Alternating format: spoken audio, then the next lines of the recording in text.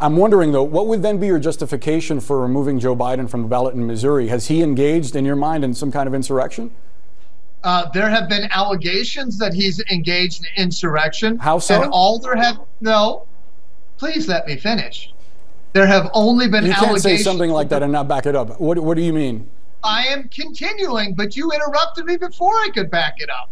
Go ahead. Are you sir. scared of the truth? Oh, Let I'm not terrified of the truth at all. It seems like you There might be. Let's been, hear what you have to say. There have only been allegations against What President allegations? Trump. President Trump has never been um, uh, adjudicated guilty sure. in a court of law. What did. Joe Biden So- do in your mind that equates insurrection? What allegations are you talking about? Um, I have I have seen allegations from the Lieutenant Governor of Texas that has said that the that uh, Joe Biden has has uh, has in, in, uh, uh, been part of insurrection or rebellion. We've seen the president, uh, sorry, the governor of Florida say the same thing. Those are Insurrection over what? what? What did the governor of Texas say that, that Joe Biden was causing an insurrection over? If you're going to make the I- claim, give me give me some specifics. Are you just going to Oh, cite. No, wait- the wait governor minute, of. Texas or Florida and not actually say what they are arguing? Do you know what they're arguing?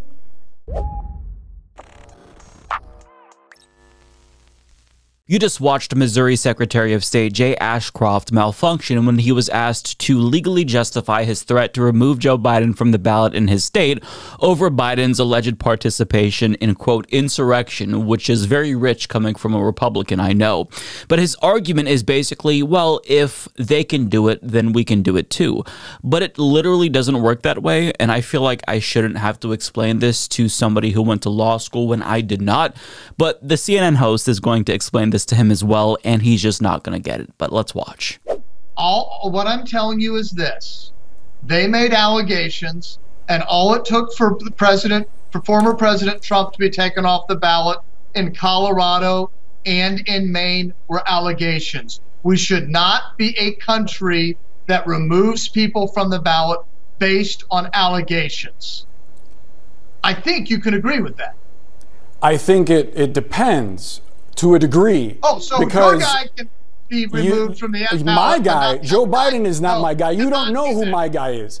The point is, doesn't sir, matter. The point is that it's not clear whether the 14th Amendment is self executing or not. It- in other words, it doesn't matter to a court at that point whether there was a conviction of Donald Trump for insurrection or not. Now, the CNN host is absolutely correct. Here's what Section 3 of the 14th Amendment actually says Quote, no person shall be a senator or representative in Congress or elector of president and vice president or hold any office, civil or military, under the United States. And then it goes on, but basically, if they have engaged in insurrection or rebellion against the same or given aid or comfort to the enemies thereof. But Congress may, by a vote of two thirds of each house, remove such disability. So, as you can see, the 14th Amendment does not state whether or not there has to be a conviction. It just says somebody may not be president if they engaged in insurrection.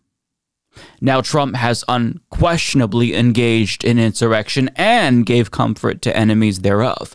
That's why states like Maine and Colorado are opting to remove him from the ballot, and rightfully so. Protecting democracy necessitates the removal of candidates who vocalize their intent to destroy democracy. And as much as I dislike Joe Biden, he hasn't engaged in a literal insurrection, so removing him from the ballot would be absurd. I shouldn't have to explain this to the Secretary of State because, again, this is somebody who went to law school. He should know this. But his threat is just him basically going tit for tat because he's mad.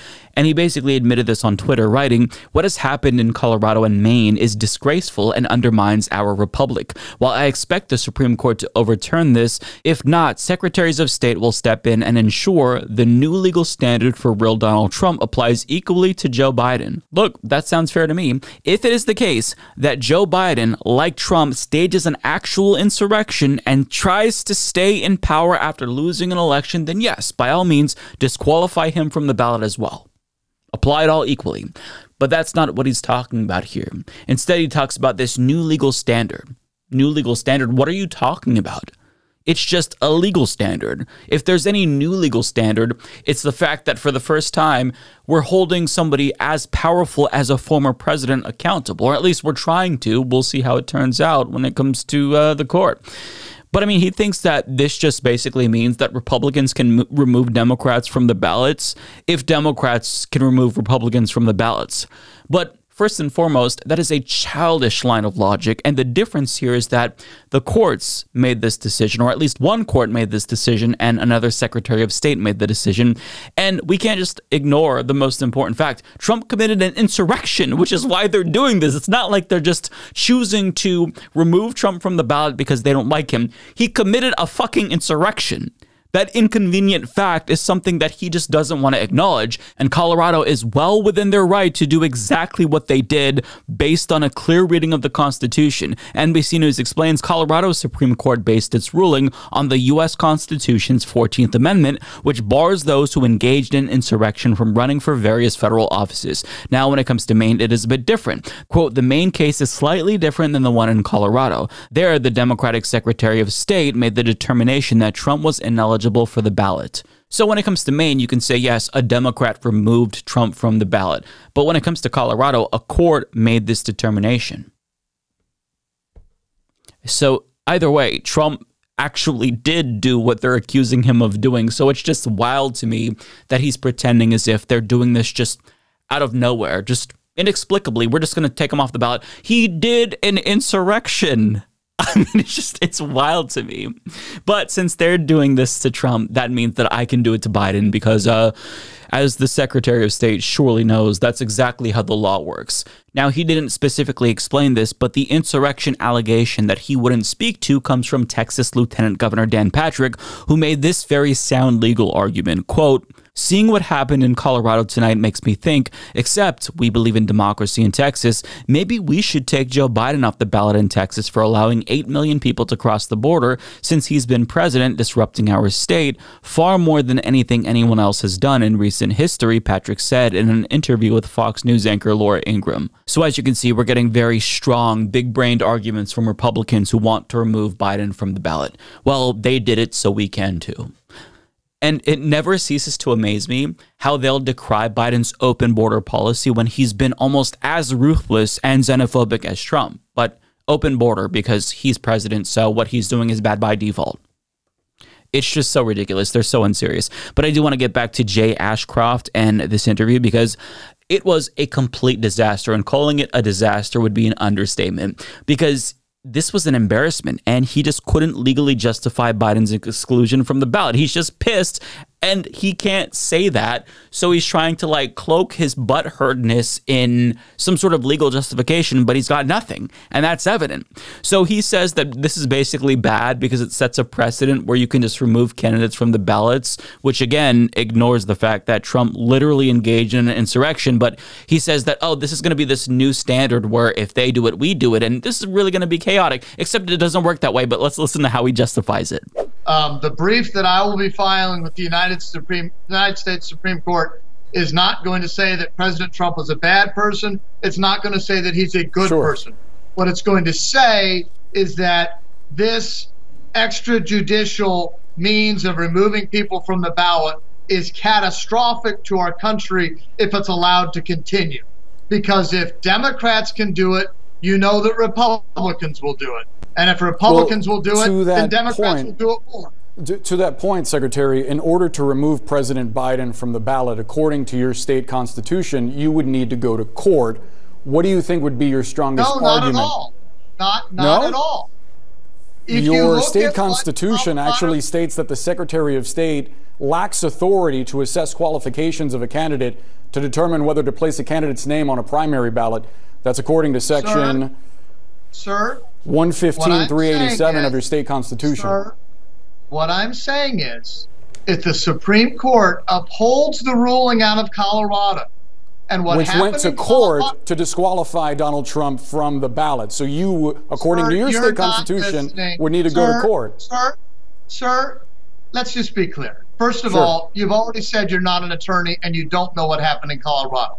I was happy. I know what happened in Colorado, sir. What I said was that I didn't read through all of the evidence specifically to be able to qualify whether there was hearsay or not. To get back to my question, you well, said that, that you would process. decide to remove Joe Biden from the ballot in your state. According to your state constitution, which I just read to you from, it says you need to go to court. I'm asking you what you think your strongest argument is. And I continue to try to answer your questions, and you continue to try to tell me stuff that just isn't true. That's and not factual, sir. You made, you made an accusation here, about me not knowing something. I'm trying to clarify it for you. You can choose here, to answer the well, question or just continue deflecting. What is the I strongest argument you would make in court to I, remove Joe Biden from the ballot? Go.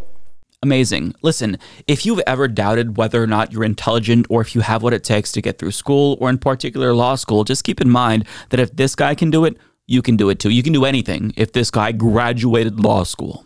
Now, with that being said, though, I am thankful that he's choosing to defend this position on national television because it shows you how unserious these threats to remove Biden from the ballot are. But I just want to show you one last clip because he was very annoyed, and he should be because the CNN host kept the pressure on and good on that CNN host, and it made him look like shit. So pay close attention to the end because as this interview closes, just watch his facial reactions here. We got to leave the conversation there, but I very much appreciate your time. You're welcome back anytime, sir. Thank you. Of course. Have a good day. Happy New Year. Stay with CNN News Central. We're back in just moments. Seems like somebody's fifis were hurt. Like he was actually rolling his eyes on national television. We're talking about a grown man here in a position of power amazing. And I've just got to ask, how did you actually expect this to go? Because you know that you can't actually use your position as Missouri Secretary of State to just remove Biden from the ballot because you're mad. Like, you know this, right? Literally, like, you actually are aware that this is something that you don't have the power to do because you haven't presented a legally justifiable, well reasoned argument for doing what you say you're going to do. So you can't just say, I'm going to do it because I'm mad and they did it. That's logic that a six year old wouldn't even use because by then they'd come up with better reasons to justify their actions. But you, a grown man in a position of power, can't do that. And then you're mad at the host for asking questions that you refuse to answer. It's just astonishing to me. Now, if he actually cared about democracy, he too would support Trump being removed from the ballot. I get it, he's not going to do that because he is a hack and a Trump sycophant. But the reason why you want to remove people like Donald Trump from the ballot after they engaged in insurrection is because we have to protect democracy. I get that it feels uh, counterintuitive to say we should protect democracy by removing somebody from the ballot, but Restricting somebody's right to participate in democracy is essential if that person has either engaged in insurrection or is expressing clear intent to abuse power and violate the Constitution. We have a duty to protect our democratic system by not letting people participate in it if they are against the system that they want to participate in. So, protecting democracy means putting limitations on who is qualified to run. In the same way that tolerance doesn't require us to tolerate intolerance, democracy doesn't require us to allow autocrats to participate in democracy. Now, all of this is probably moot anyway, because I'd be shocked if our far right illegitimate Supreme Court even allowed this to stand. But it's just interesting to see how detached from reality the party of law and order has become, isn't it? Mike is a total shitlib. Once he started shilling for the DNC, I stopped watching. So I definitely won't be hitting the subscribe button or turning on notifications by clicking the bell. No way. It's very sad, I know.